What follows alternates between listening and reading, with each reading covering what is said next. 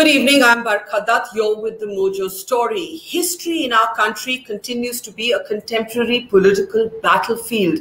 And the latest controversy from our past to hit the headlines is a memorial, a smarak at the Jallianwala Bagh massacre site in Amritsar. Let's bring up our special focus on the program today.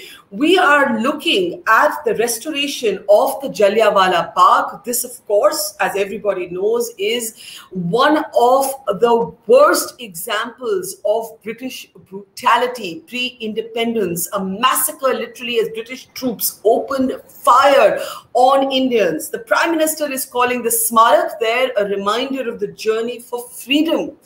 Of course, all of this is happening a few months before the Punjab elections, and that is also important to note. But it's also important to remember that lights and lasers may not be the best way to mark the lives lost at this massacre site. Historians and commentators are up in arms, but this isn't just about the BJP. It is, in fact, a multi party representation on the Jallianwala Bagh Trust. Historians are saying is a, it's a Disneyland approach to history, a Disneyfication of what remains one of the most brutal examples of our colonial past. On the program today, we'll try and understand why there is such a ferocious fight as well as disquiet over the Jallianwala Bagh Smarak, uh, a kind of commemoration that was tweeted out by the Prime Minister himself that is being described as a lights and laser show. Uh, let me introduce our guests on the program today, uh, one by one, uh, Tavleen Singh, veteran journalist and commentators with us, extremely acerbic remarks from her uh, on this uh, particular smarak. Uh, we're by Aanchal Malhotra. Aanchal is a very, very uh, compelling oral historian, in particular, uh, focusing a lot of her work on, on the partition of the subcontinent. Kishwar Desai is uh, with us. Kishwar, of course, is the founder of the Partition Museum uh, in Punjab, uh, also now taking um, that museum to, to Bengal. Uh, so, Kishwar, welcome to the program. Geeta Bhatt, who's, of course, a professor of history at the Delhi University, is with us, and Sandeep Ghosh, columnist, commentator, is with us as well. Uh, Kishwar, let me start uh, with you, in fact. Uh, you know, how do you respond to what you've seen thus far uh, of this Jallianwala Bagh uh, Smarak? You know, almost all of us, uh, like our, your childhood was not complete till you were taken for a visit to the Jallianwala Bagh. You saw that narrow lane where General Dyer ordered his, his, his men to open fire on, on, on Indians. It was a monstrous incident what do you make of what you've seen so far, the attempt to commemorate it in a modern way, so to speak?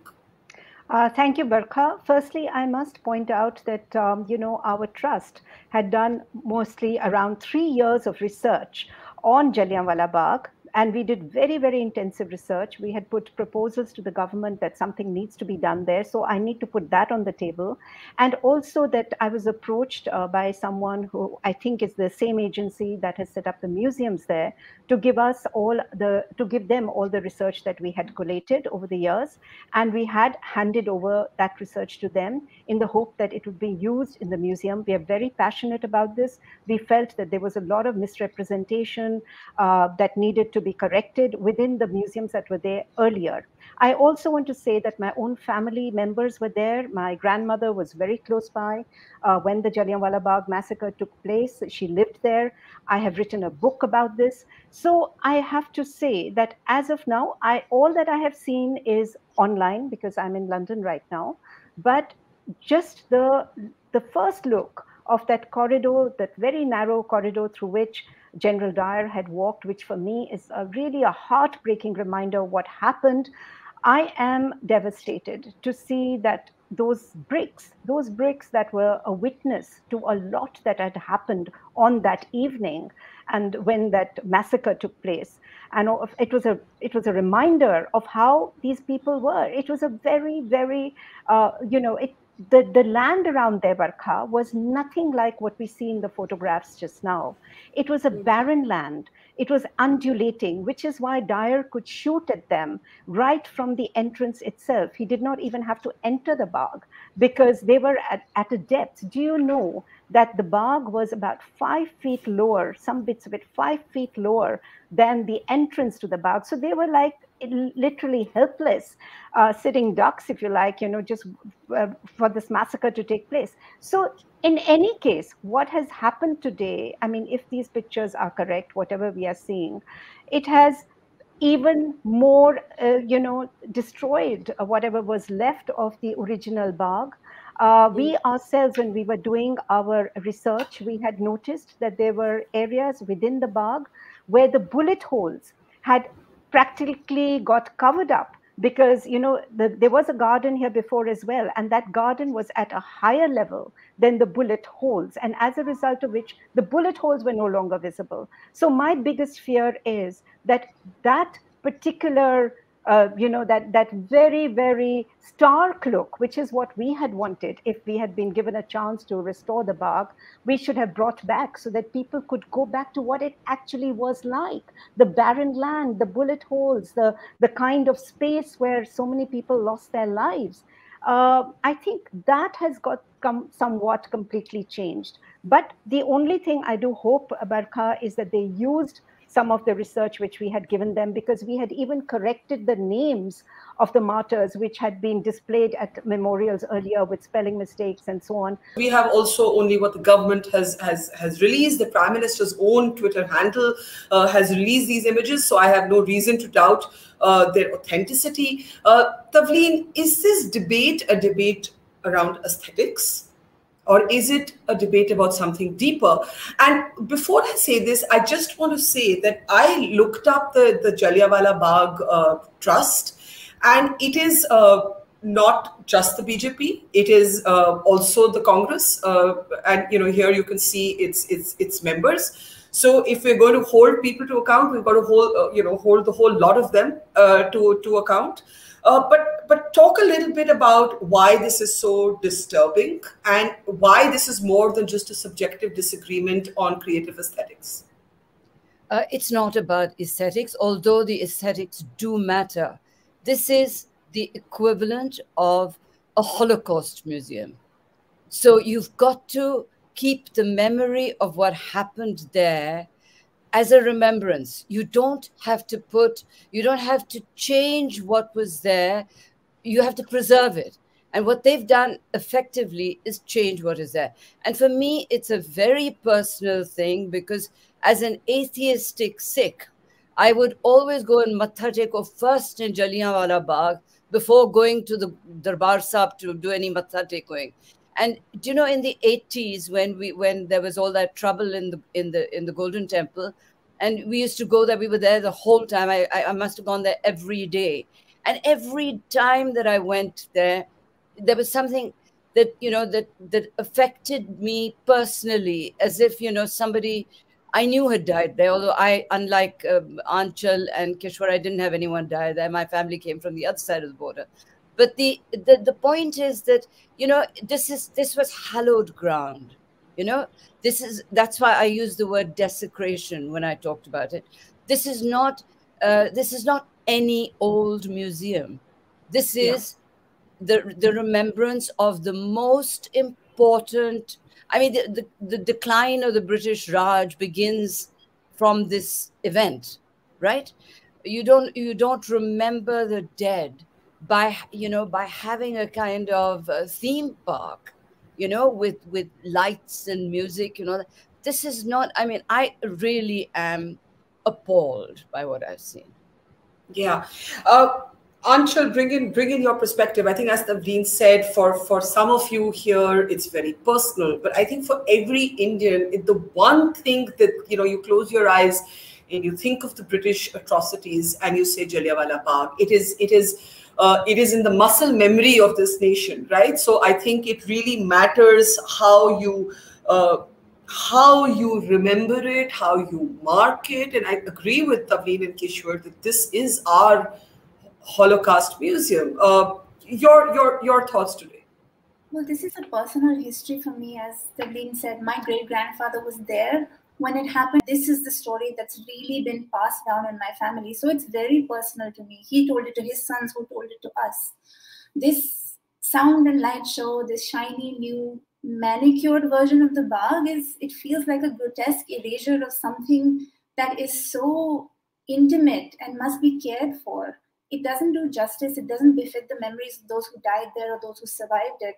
And I think that we need to think about the vocabulary we use when we talk about memorials because there is a difference between a celebration and a commemoration. And renovation is not the same thing as restoration. This is not the way to commemorate a site of importance. This is not sensitive or empathetic. And what troubles me the most see, I'm the youngest person on this panel, and I'm worried about people who are younger than me. When I would go to the Bagh, touching the bullet holes, walking through that corridor, it's haunting. I'm talking about it right now, and it's haunting. And that is a way to connect because a physical trace remains. So much of the Bagh has already been changed, even a couple of years ago, but now it's completely been decimated.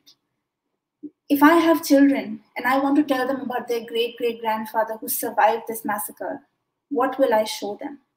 You know, the, this is what worries me that a solemn place, a place of mourning, has been made into some airport lobby wedding type venue.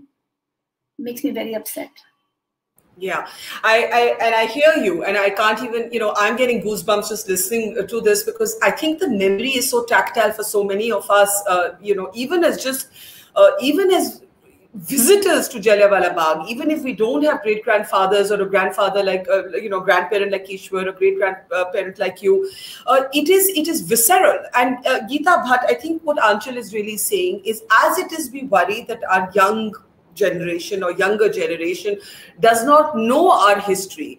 And if we are going to dress it up, we are going to make it like a Disneyland, we're going to make it like a theme park or an airport lounge, as she said, it is completely disrespectful of the lives lost, of the collective trauma. Uh, this is this is the incident from which India was was born. This massacre was the womb from which India, independent India, in some ways was delivered.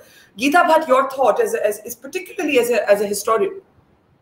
Well, uh, Barkhaji, to correct you, I am I come as a political analyst or as an academician. Sure, I am sure. I don't know I do not have a history sure. background, but yes, uh, you know, like every Indian, uh, I too also uh, relate to when uh, you know when we talk about Jallianwala Bagh. You know, some an incident which instilled you know fiery nationalism in in many uh, in those days, including people like Udham Singh and uh, when we talk about uh, you know about the uh, the changes which have been made or rather uh, you know the, uh, the the the debate about uh, you know the restoration of the place or of renovation of the place you know it is important to note that yes it is very important that that the the feel of going to a place how one feels when recollecting of what had actually happened at, at that time on 13th of April 1919, you know, where many other there, some people say that almost nearly a thousand people were dead, but of course, official record is a little lesser than that. Now, uh, few uh, like the other uh, panelists have uh, raised certain issues. So, as far as uh, uh, you know, the light and sound sound show, Barkhaji, if I can recollect, it is something which has been happening in the past. It is not something which has been added right now, and it was uh, as far as I remember, I think it was Mr. Amitabh Bachchan's, uh, you know, voice which plays, uh, you know, tells the the horrific tale of what happened, you know, of that massacre, and it may have been, you know, uh, revisited and made it with a with a, maybe a new voice. I haven't seen or been to the place now after the changes, mm-hmm. but as far as this light and sound show, it was already there. It is not that it wasn't there; it was already okay. there before right? Can I can I just now, can I just the second point is that Sorry. Yeah, yeah, can I can I just now the uh, the second point is that there have been changes like uh, you know the enter and exit points have been changed which was earlier there it is not there and as far as yes there can be a definitely debate and yeah, you you don't actually have the best line, but I've got the gist of your uh, your argument, and I want to just bring in Kishwar briefly before I go to Sandeep. Uh, I don't remember a sound and light show at the Jallianwala Bagh. I haven't been for many years. Maybe there was one. There certainly was a son et lumiere uh, show the Red Fort that we all grew up uh, on in, in, in Delhi. So I think it's important to put in context that when when we say the lights and lasers is a kind of desecration, which all of you have said so far, uh, Kishwar, how would you respond to Geeta Bhatt's argument that sound and light uh, telling of history has often been a part of our uh, traditions? Yes, um, yes, she is correct. There was a sound and light show, which was actually no longer working. All the systems had collapsed. So almost the last 10, maybe 15 years, that sound and light show was not being held regularly, uh, was not being shown regularly. But I do want to bring in this point but, uh, and emphasize that renovation restoration.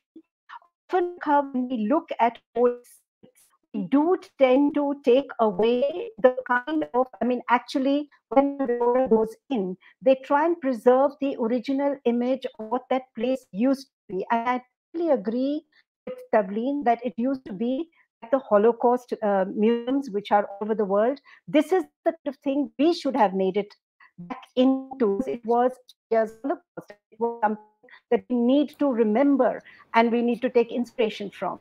So okay, hang on, hang on, hang on. And yeah. There was just let me complete the twofold. There was a sound and light show.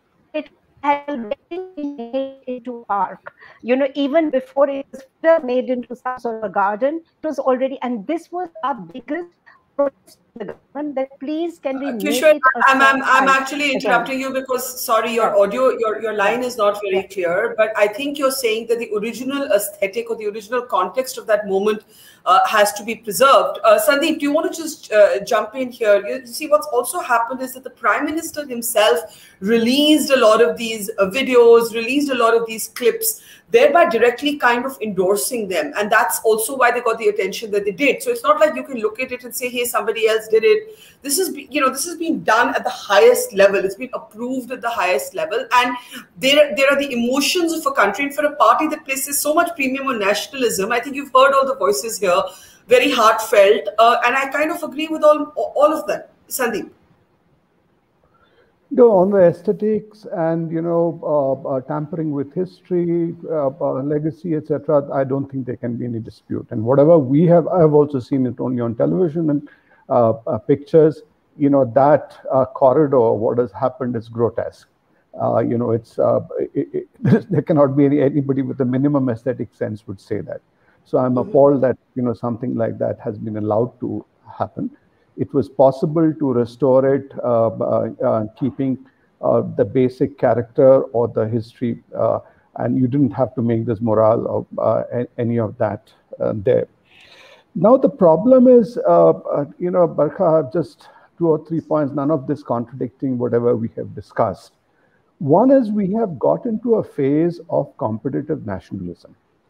And uh, I would refuse to believe you were talking about the committee but uh, you know that the Punjab government was not in some ways complicit with this whole restoration exercise.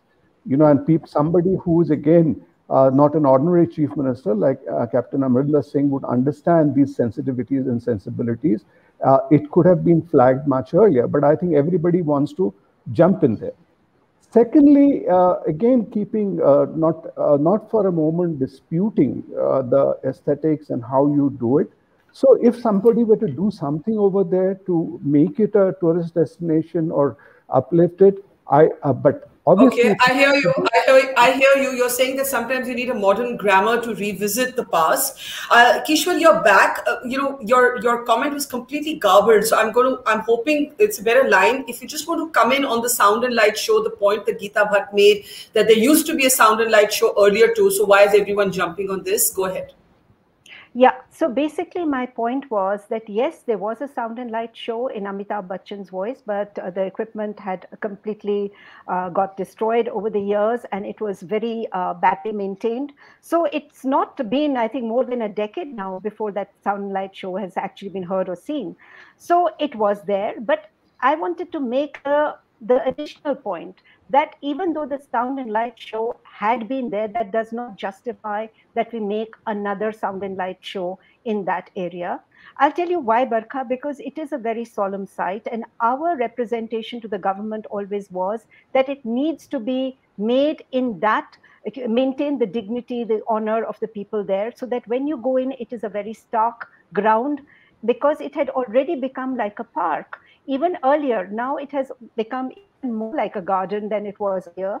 And this was what we had been requesting that it not be made this um, this this kind of way. I totally understand we modernize. We need to uh, make a new generation aware what had happened. That that basically we needed to reclaim it even from what it was instead of going even further down that path. Uh, but Tavleen, I think there, there are a couple of points to be made here. Like I said, the Prime Minister tweeted this out, so everybody's saying, "Oh, this is the central government. This is Central Vista Redux in Jallianwala Bagh."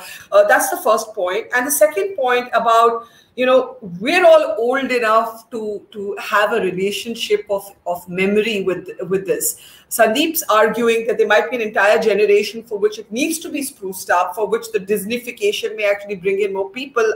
I don't agree but it's an argument. Tavleen go ahead.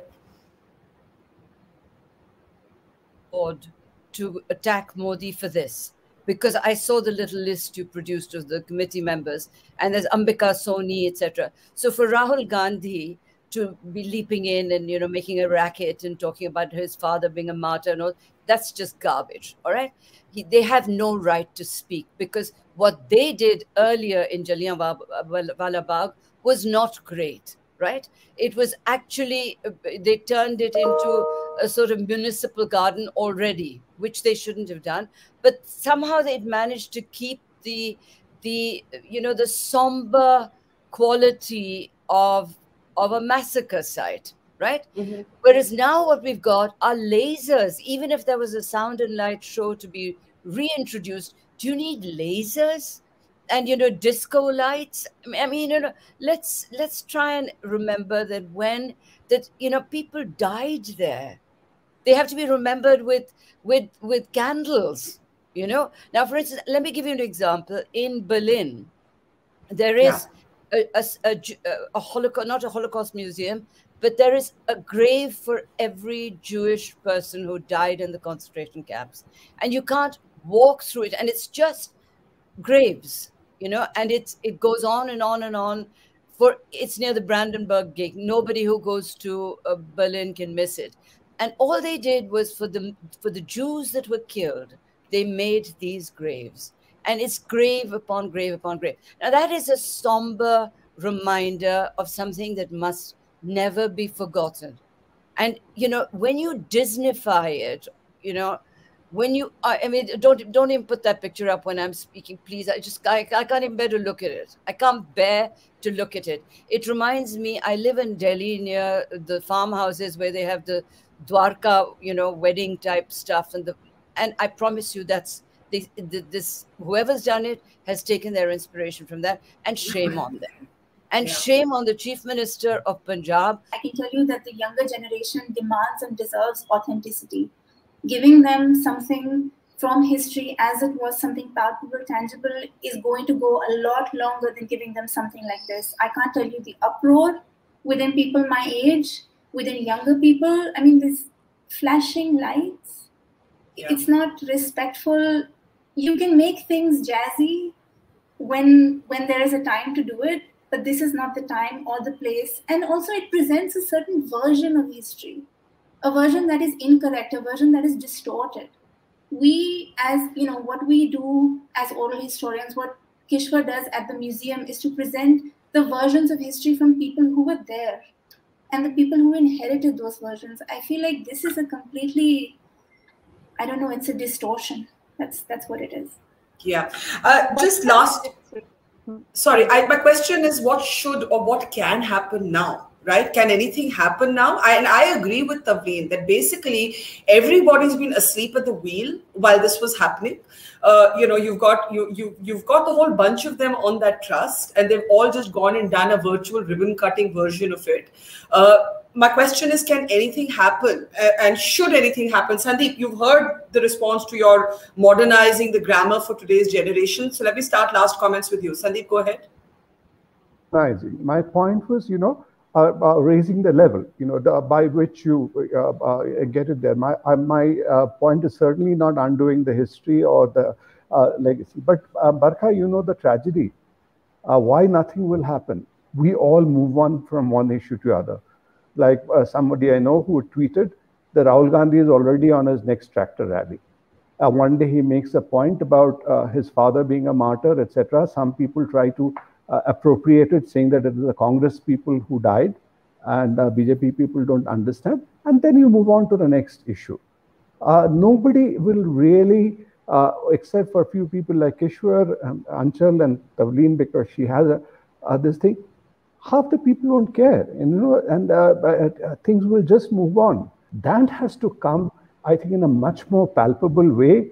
Not only not for undoing this, but preventing such, uh, you know, yeah. Uh, the actions. I, I, I, take your I take your point that for all of us, uh, uh, and and you know, at least I think four of us are are Punjabis on this, but I don't think Jallianwala Bagh is a, actually unlike partition which is you know something that is felt by the people of Punjab and the people of Bengal. I actually think Jallianwala Bagh is about the birth of our country, and it's not really about one ethnic group or, or the other. But Kishwar, can anything be done now? Can anything be done after we've all angsted over this? Uh, do you still think that something can be preserved? Some, I, you know, we don't know because we have only these video clips. It's been a virtual inauguration and so on. I I'm quite um, you know optimistic about this, uh, Barkha, because I do believe that there is a historic uh, reason why we must try and take this Bagh back to what it was like why we must create an awareness of that. And I think that we might be able to, if we do, uh, you know, request the government that there is a way of making sure that at least the original parts of the Bagh are still maintained the way they are. I'm certainly going to try. We did try by giving them the proposals earlier. I am not going to give up because I think this is too important for us. As you said, this is the one symbol of when Hindus and Muslims came together, apart from everything else. You had a uh, Saifuddin Kitchlew, you had a Satyapal Dang. I mean, you know, coming together, leading the movement of uh, Jallianwala Bagh.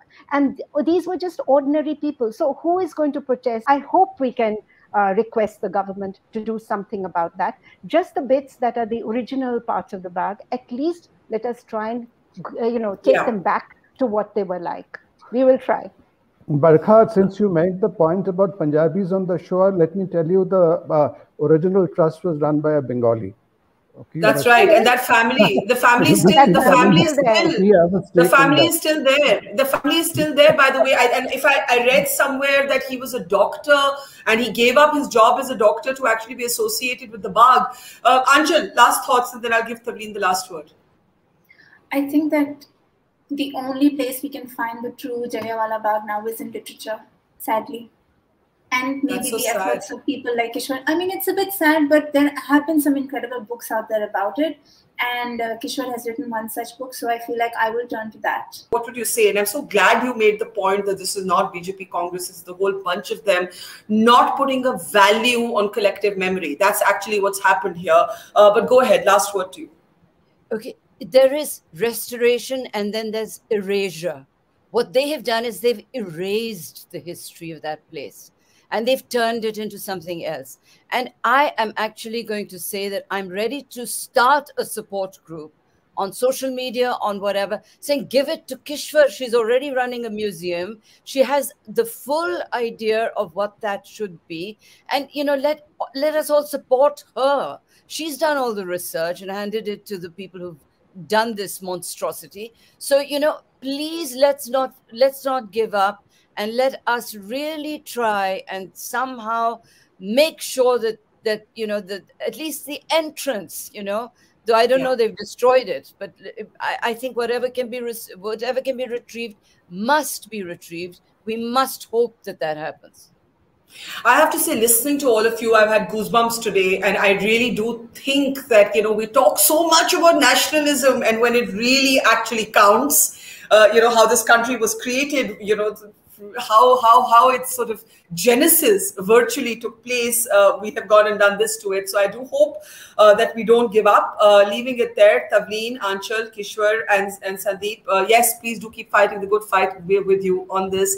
To our audience, uh, yeah, we'll sad sad note to end on, but yeah, we'll keep up the fight. Thanks for watching. Goodbye. It's great to see you here. Thank you for watching our work. If you haven't subscribed yet, don't forget to click the bell icon and subscribe to Mojo Story and support independent, robust journalism.